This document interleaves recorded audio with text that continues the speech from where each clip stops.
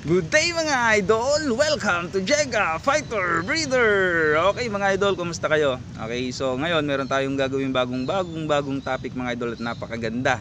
Kasi unang una, dito ko patutunayan mga idol na pag sinabing conditioning, walang stress. So ang topic natin today is zero stress sa 21 days conditioning. Okay, so ngayon mga idol, abangan nyo yung mga bawat babanggitin ko kasi patutunayan ko bawat araw na walang stress na magaganap sa manok. Although, unahan ko na kay mga idol, ang turok ay nakaka-stress, ang purga ay nakaka-stress. Okay?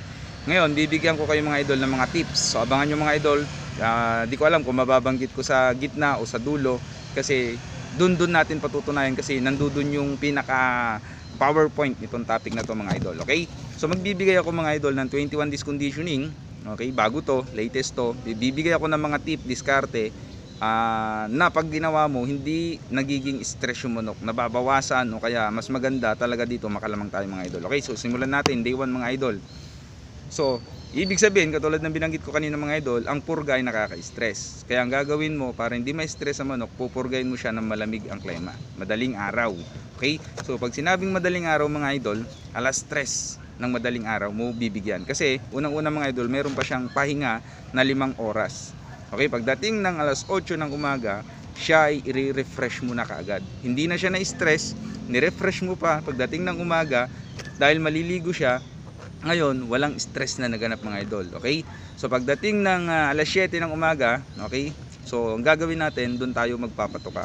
O, ibig sabihin, magpapatuka ka muna. Pagdating ng alas 8, doon ka magpapaligo. Then, eto mga idol ha, pali- ilalagay natin yung ating manok sa limber. Kasi doon siya magpapaaraw. Okay? Papaaraw natin para matibay siya sa basaan, para hindi siya ingalin pagdating ng ano laban. Pero hindi na yan totally i-gagawin natin na ano, iti-training o kaya ipi-precon kasi kasi kung unang-una mga idol, kaya tayo may tinatawag na precon kasi nandoon talaga yung time na binabatak mo yung manok. Ini-spar mo talaga ng mga solid na spar. Binabago mo yung katawan ng manok, ini-exercise mo talaga. Do- Doon mo pinapamuka yung mga bagay na kailangan niyang ah, malaman para pagdating ng laban, alam niya na. Doon mo inilalagay sa box, doon mo ibinibiyahe, doon mo inilalagay sa ano sa kulungan, okay? Para masanay siya. Doon din binibigyan mo na rin siya doon ng tinatawag mga idol na training na pailaw, paaraw. Meron na doon, nandun na lahat. So ang gagawin natin kasi dito sa 21 days conditioning, iko-condition natin yung sistema ng kanyang katawan at yung kanyang lakas at yung power niya, energy niya. So condition na lang to mga idol. Pero active dapat yung manok, okay? So ayun mga idol ha. So pagdating ng 4:30 mga idol, doon tayo magpapatoka. Okay? Kasi pagdating ng 6:30 PM, doon tayo magtuturok. So, pinakamaganda na oras talaga mga idol is 6:30. Bakit? Kasi kung magtuturok ka ng mga gabi talaga alas 10, okay, alas 9. Okay? So sana nakapagpahinga na, nakatulog na yung manok, o wala, ginising mo pa kasi magtuturok ka. So pinakamaganda diyan mga idol kasi pag 6:30 PM, madilim na rin 'yan at saka malamig na rin yung panahon niyan. Okay, pag once na 'yan inilagay mo na sa kanyang ano, ah, area, okay, automatic diretso na yung kanyang tulog. Take note mga idol ha, pagdating ng alas 10, alas 12, alas 2, alas 4, tumitilawak yung manok. Kaya nga mga idol, may tinatawag na halimbawa, ikaw eh magaan lang ang tulog mo. Ang tawag nga nila diyan sa iyo is ano eh, tulog manok, 'di ba mga idol? So ibig sabihin talaga, ang manok nagigising yan kasi tumitilawak. Ngayon, bibigyan natin siya ng sapat na oras. So sa day 1 pa lang mga idol, napatunayan ko na walang stress na nagaganap. So pag hindi na i-stress yung manok mga idol, malayo napasukan siya ng sakit. Number 1, ang prone diyan is sipon, okay? So stage ah, ano tayo, day 2, okay? So stress booster ang ibibigay natin. Kasi Oh, nagbigay tayo ng purga doon at nagbigay tayo ng turok doon, magi-stress booster pa tayo na kahit hindi naman totally na stress yung manok, magbibigay pa tayo ng stress booster. Okay? So, ngayon, paalala mga idol, pag gumamit kayo ng B50, the following day, kailangan babaguhin mo B-pollen para hindi ma-immune, hindi masanay yung kanyang immune system sa mga gamot na ibibigay para first time niya makilala yung gamot na yon nagre-react, nagre-response, maganda yung epekto at para mag-pick yung gamot dun sa katawan niya okay so ngayon, ah, paalala lang mga idol ang day 1 to day 10 kailangan ay magbibigay tayo ng protein loading okay so pagka sinabing protein loading mga idol yan yung hard boiled Okay, kukunin natin yung egg white, ihahalo natin yan dun sa kanyang patuka. Pwede rin yung liver ng mga baboy. Okay, tapos pellet na protein for conditioning like Thunderbird na platinum, pwede nyo gamitin at marami pang iba mga idol. Then, whole corn, yung buong mais, tapos yung Jackie Oats mga idol. Tapos dextrose powder, vitamin pro, ay mimix natin yan. Okay, yung powder ha, vitamin pro. Tapos honey, then brown trigo. Yan yung ibibigay natin mga idol. Then, day 3 tayo mga idol, day 3. Okay? So, pagdating ng umaga mga idol, dahil ah, 7 a.m. yung patukan natin, okay, ang mga alas 6 ng umaga, magpapatak tayo ng red cell, 7 drop, para sa kanyang dugo. Okay, so red blood cells para sa kanyang dugo, para maganda yung sirkulasyon, maganda yung ah, lapot ng kanyang dugo, maganda yung ano, okay, para hindi siya ano, ah, pag natusok eh hindi mag- hindi mabilis at hindi madugo masyado. Bibigyan natin yan at saka para mapula, para mas aktibo. Okay? Tapos ang gagawin natin dito sa day 3 mga idol is paaraw natin. Okay? Kasi bibigyan natin ng good for kanyang stamina. Then bibigyan natin siya para ma-refresh yung kanyang pagpapaaraw, bigyan natin ng kaskas para sa legs niya. So paalala mga idol, pag halimbawa tayo ay ah, nag-i-exercise, so binibigyan natin ng ah, natural na ganon, kailangan halimbawa mga idol, okay, is ano, ah, pagpaa, paa. Katulad ng mga nag-gym yan mga idol. Alam niyo kung bakit?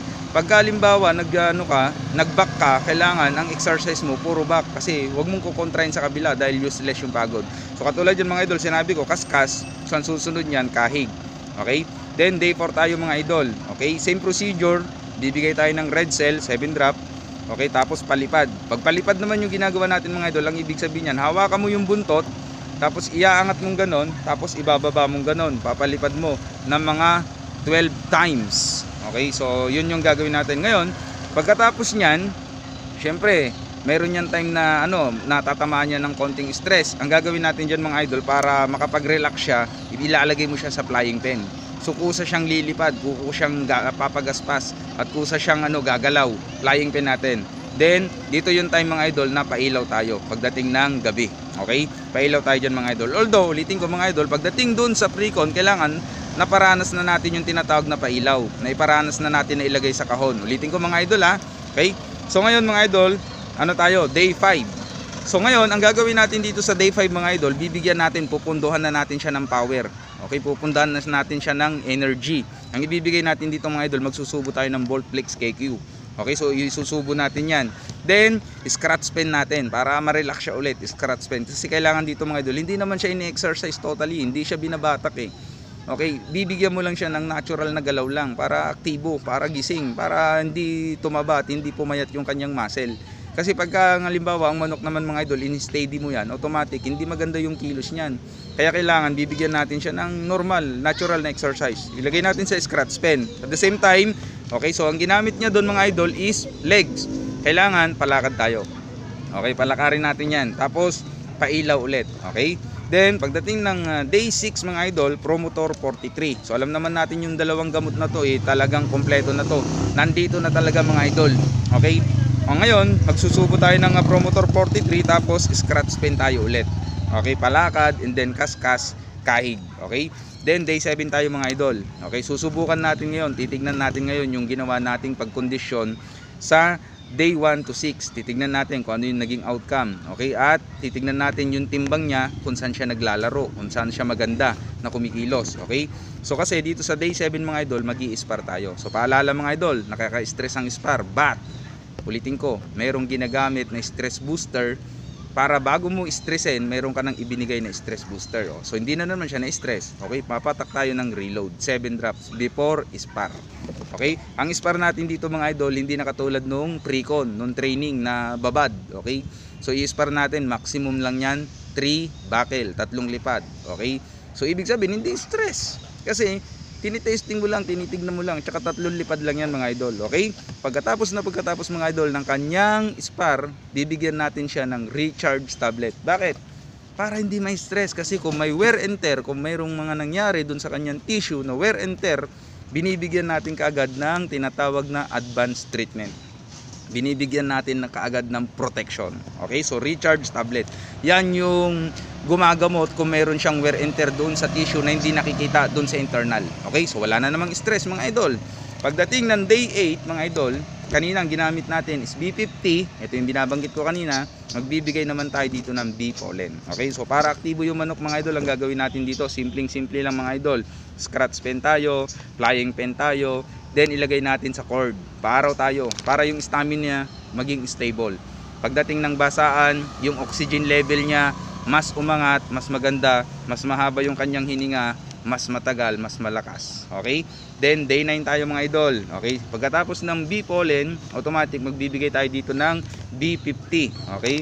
Bakit tayo magbibigay dito ng B50? Kasi unang-una mga idol, pagdating ng day 10, magtuturok kasi tayo. So ibig sabihin, nagbigay na naman ako mga idol ng tinatawag na stress booster bago siya tuturukan. Kasi ulitin ko, ang turok mga idol ay nakaka-stress. Pero sabi ko nga, zero stress tayo, kaya bago natin turukan, nagbibigay tayo ng B50.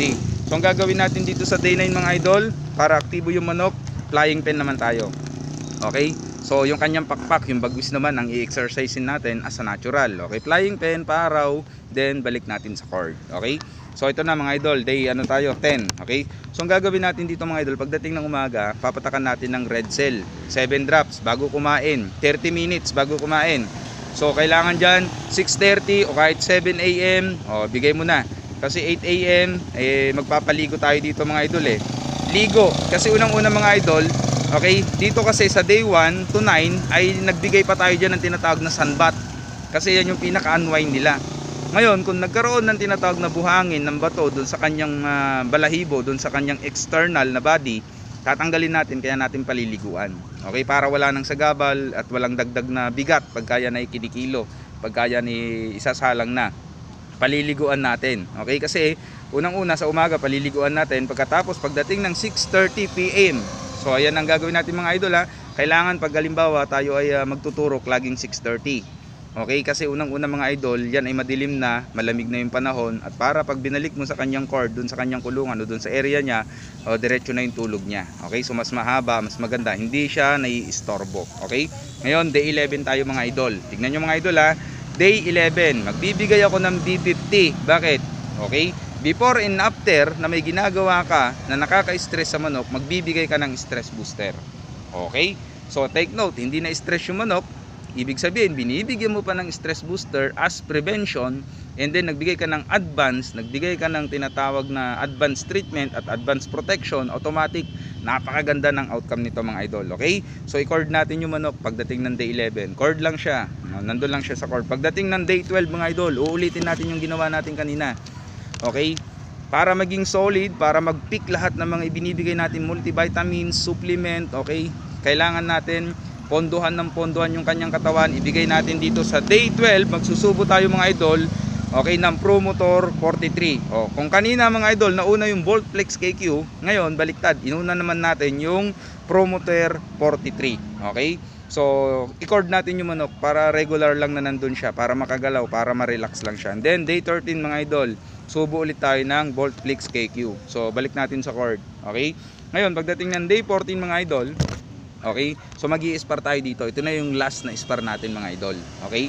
So syempre, bago tayo mag-spar mga idol, standard rules number 1, standard operation procedure natin dito mga idol is patak tayo na reload 7 drops. Okay? Para at least ah i-spar mo siya, less stress sa ating alaga. The same time mga idol, ang gagawin natin dito pagkatapos ng spar, okay, magsusubo tayo ulit ng recharge tablet. Okay, so yun ang ibibigay natin. Ulitin ko mga idol, yan yung tinatawag na pang ah, ano, pre, pang repair doon sa mga wear and tear na mangyayari sa kanya. Then, dito tayo mga idol, day 15. Okay, so since nag ano tayo dito, spar tayo mga idol, ang gagawin natin dito, magsusubo ulit tayo ng B pollen. Okay, so kung kanina, ginamit natin is B50, kaya tayo nag B pollen.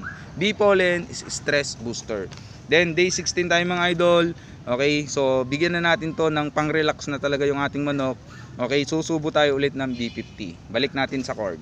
Okay, sa cord lang siya mga idol. Pagdating ng day 17, okay, red cell tayo mga idol. 7 drop, 6.30. Okay, AM. Tapos papatoka tayo ng alas 7 ng umaga. Kasi magtuturok tayo dito mga idol ng 6.30 PM ulit. Ito na yung huling turok. Ulitin ko mga idol, iklaro natin. Ang turok na ginagamit natin dito mga idol is tatlo sa 21 days conditioning. Kaya tayo nagturok dito sa tinatawag na day 17 mga idol kasi ito na yung last 5 days ng conditioning. So kasi pag nagtuturok ka pa ng 3 days before the fight, ano na yan mga idol, gahol-gahol na sa oras yan. Hindi na nagpipik yung gamot hindi na kumakalat yan dun sa mga ano, iba't ibang parte ng katawan ng manok at stress yung manok dyan. Kasi unang-una, kailangan pag nagturok ka, pagdating ng laban, wala nang kirot dun sa natusok. Kailangan well magaling na magaling na yon. Wala nang sakit dun sa natusok. Kaya ang pinakalas na turok mga idol is 5 days before the fight. At para kumalat na yan, take note mga idol, magpopondo ka pa rin naman ng gamot dito sa susunod na araw. Kaya wag kang mag-alala kasi bibigyan pa natin yan, magpopondo pa tayo ng gamot dyan mga idol. Okay? So ngayon mga idol, ayun ang gagawin natin. Pagdating ng day 18, 19, 20, ang tawag dito mga idol is keeping. Take note mga idol ha. Pag nag-keeping ka, automatic sa gabi ang keeping. Yan yung matutulog siya na madilim, na walang lamok, ikukulong mo siya. Nasa kulungan siya. Walang stress, hindi siya mauulanan, hindi siya mahanginan. Kailangan matutulog lang siya madilim sa gabi. Pero pagdating ng araw mga idol, naka-cord yan, magapon. Okay, kung saan siya naka-cord, paalala, kailangan inililipat-lipat yun yan ng cord. Kasi pagka yan, iisang cord, doon lang siya at doon lang siya, ah, boring yung manok. Okay? So para magkaroon siya ng natural na exercise at para maging agresibo, para magkaroon siya ng gising na gising at para alerto mga idol, kailangan iba-ibang cord na paglalagyan natin sa mga ikinukondisyon nating manok. Okay? So, ulitin natin mga idol ha, 18, 19, 20 is keeping. Okay? So, yan ang gagawin natin. Ang ibibigay natin na gamot sa day 18 mga idol is bee pollen. Ngayon, pagdating ng day 19, 20, okay, magbibigay tayo dito ulit ng Promotor 43 and Bolt Flex KQ. Okay? So, yun yung ibibigay natin. Then, cord yan sa umaga, keeping yan sa gabi. Okay? So, day 21, last day na tayo mga idol. Ito na yung tinatawag mga idol na pointing. Pag sinabing pointing, a day of the fight. Okay? So, ang gagawin nyo dyan mga idol ha, may stress yung manok mo pagka hindi mo pa yan ginawa noong pre-con na ilagay sa box. Kaya dapat na gawa mo na yan sa kanya. Kasi sayang lahat ng ginawa natin mula kanina day 1 to day 20 kung sa day 21 first time niya mailagay sa box. Okay, so ayan mga idol ha, kailangan sanay na yan ilagay sa box. Then kailangan yung manok sanay na siyang isakay sa sasakyan. Na-experience na niya na yan. Okay, kasi para pag nilagay mo, ginawa mo sa kanya ngayon yan, okay lang sa kanya kasi na-experience niya, sanay na siya. Okay? So ang gagawin natin dito mga idol, bago tayo ah, magbiyahe, okay, pagising natin ng umaga, bibigyan natin ng walong pirasong kanin. Yun lang ang kakainin niya. Then paiinumin natin siya idol ng dalawa hanggang tatlong dip. Okay, dalawa hanggang tatlong inom lang siya. Okay? Ngayon mga idol, okay, pagka yan kumain na, ang gagawin natin, bago ibiyahe mga idol, magpapatak tayo ng reload. 7 drops. Okay? So pagdating sa sabungan, wag nyo muna kaagad ilalabas. 5 minutes nasa box muna siya o 3 minutes nasa box muna. So paglilipas ng ah, ganong minuto, dahan-dahan yung ilalabas yung manok. Okay, then ilalagay nyo sa limber. Okay? So pag-relaxin nyo siya, kung ilang oras mga idol yung travel time mula bahay to sa bungan, ganun din yung oras na kailangan makapagpahinga siya bago natin totally i-pointing para hindi magkaroon ng tinatawag na stress. Okay? At hindi magkaroon ng roller coaster. Yung ma-early point at late pointing. Okay? So yan mga idol ha. Napatunayan ko mga idol na walang stress na naganap dito sa 21 days conditioning. Kaya nga tinawag na conditioning kasi iko-condition mo siya at hindi mo siya totally 80 training. Kaya nga yung spar dito mga idol eh. Pag nag spar tayo dito mga idol, dalawa, tatlong sampi. Pagkahig-kahig natin, Okay, then pakaskas, pailaw, flying pen, running pen, square pen, no, lahat ng pen, pati ball pen, pentel pen, no, 'di ba mga idol? Okay? So ngayon mga idol, sana makatulong sa mga bago pa lang sa channel natin. Please like and share.